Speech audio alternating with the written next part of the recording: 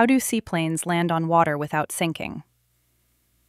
Seaplanes don't need runways because their runways are lakes, rivers, and oceans.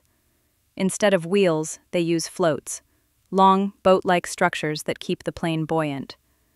These floats are carefully designed. They have chines that slice through water, bumpers to absorb impact, and keels to stay balanced while taxiing. During takeoff, the plane doesn't lift off immediately. First, it must get on the step. That means the float skims on top of the water, like a speedboat, reducing drag just enough to lift off.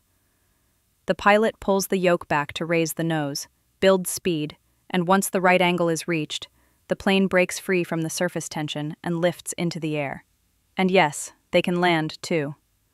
Retractable rudders help steer, and the shape of the float disperses water as the plane slows down. And the future? Meet Noemi, the world's first fully electric seaplane, with zero emissions and a range of over 150 miles. It's already making test flights, and by 2030, an entire fleet could be flying above the fjords of Norway.